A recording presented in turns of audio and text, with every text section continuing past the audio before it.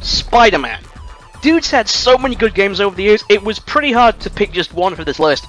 Spider-Man for the PS1, Spider-Man 2 for the PS2, Maximum Carnage, Ultimate Spider-Man, Enter Electro, Edge of Time, Web of Shadows.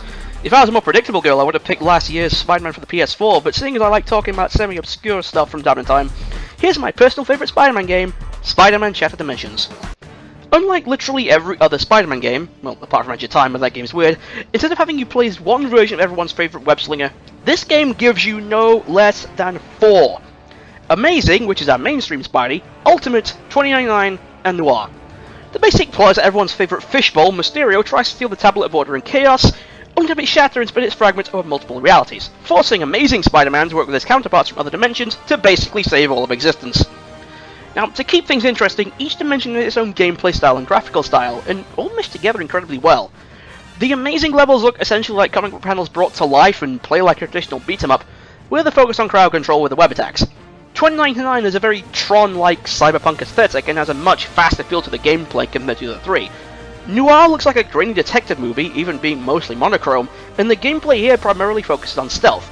And Ultimate has a graphical style ripped straight from the PS2 Ultimate Spider-Man game, and his gameplay is a more hack and slash than the others, as you unleash the power of the black suit on your unsuspecting enemies. And no, it's not a symbiote.